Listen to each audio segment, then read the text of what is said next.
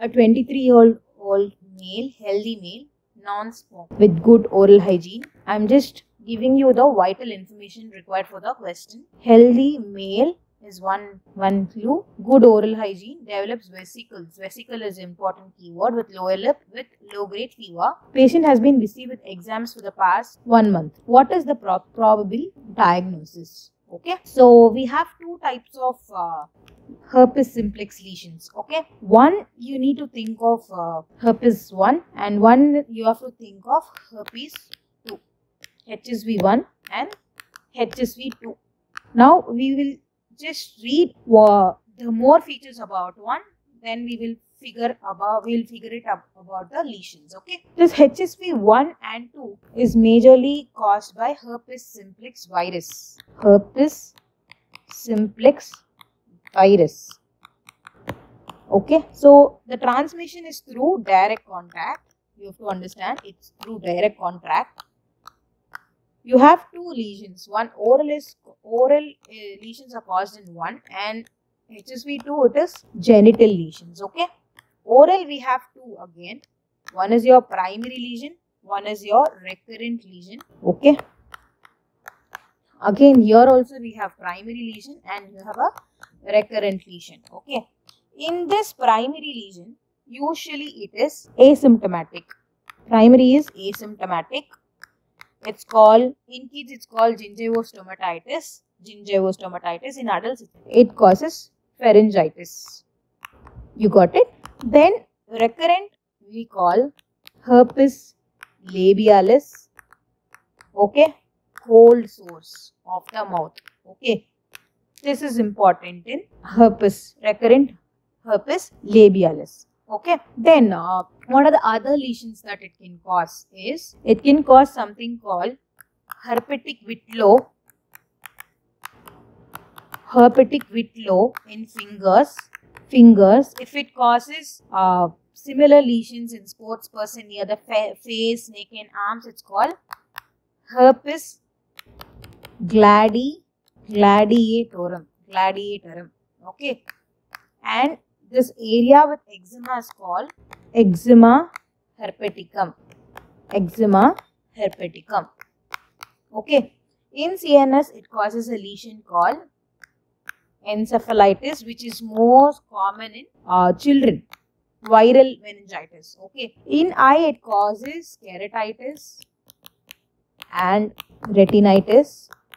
Okay and in case of nerve it causes Bell's palsy Bell's palsy and your Bell's palsy involving your cranial nerve 7 okay? Cranial nerve 7 7 this is 7 cranial nerve 7 okay? Then uh, mainly considering HSV1 it causes acute gingivostomatitis your cold sores whitlow keratoconjunctivitis encephalitis.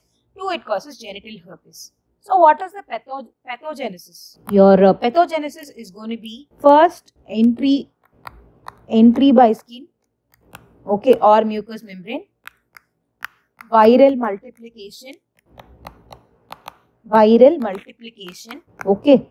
After it multiplies, it causes lysis of cells, okay, lysis of cells, vesicles, ulcer formation, ulcers. Okay, after nearing this viral multiplication, you have your sensory nerves, right? Sensory nerves, it gets affected in the root ganglia. Once if you understand this flow chart, lifelong you'll remember this herpetic lesions. They'll have a latency period. On reactivation, it causes ulcer, okay? This is very simple. Uh, histopathology, you need to understand there, there will be ballooning of cells, okay? ballooning of cells. You will have uh, Lipschutz bodies, Lipschutz bodies, Lipschutz bodies. Then you have a formation of multinucleated giant cell. Okay, this you need to understand. Only these things you need to understand. Okay, now uh, so basically recurrent herpes, it's called secondary herpes or recrudescent herpes. Okay. It's called cold sore or fever blister. So see the site. Site labialis is it's very common. Multiple sites of recurrent. Secondary to spread of viral cracked lips.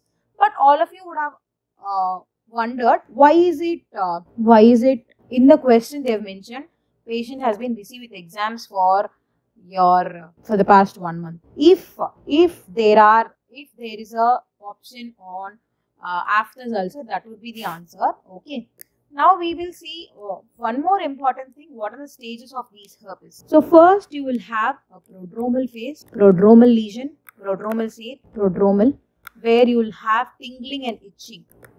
Tingling itching okay? Skin appears very normal. Skin is normal. Next you'll have redness. In redness you'll have some uh, swelling.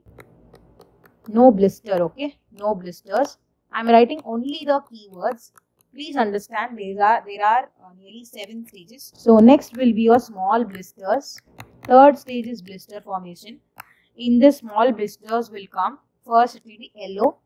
First it will be clear then yellow painful. I'm just writing only the keywords so that you can understand you can you can not forget all these for lifelong. These are very prominent clinical cases which we encounter in our daily practice. Then this blisters will progress to form ulcers. This will be painful again, painful with open areas. Then you have drying up and healing. Drying up and uh, healing.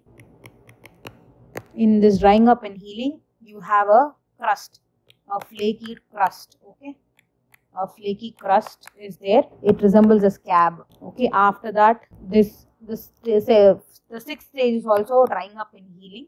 In that your cold sore is complete. That is your uh, cold sore is complete. It may be your uh, your redness under a scab will remain. And next last one is your healed skin. Healed skin back to normal. The skin is entirely skin is back to normal. Okay so why you have to know all these is these are the stages through which your uh, your lesions occur. Okay, prodromal, redness, small blister, then ulcer, drying up, healing, crust formation, then heal skin. So this is a, a stage of blister and ulcer. Okay. After this, once this uh, this drying up and healing and all comes, it will resemble a normal normal uh, ulcer. Okay. In question, they've mentioned two. There are two keywords. One is a healthy male he's a non-smoker, develops vesicles. So vesicular formation is definitely a sign of herpes. And then you have a low-grade fever also. He has been busy with exams. So if the option is there, uh, aphthous is there, you can opt it. But here they've given two other clues with it, right? Your vesicle and your low-grade information in uh, low-grade fever. So the option obviously goes for herpes labialis. In this question, we've seen uh, HS, about HSV1, HSV2, what are the lesions.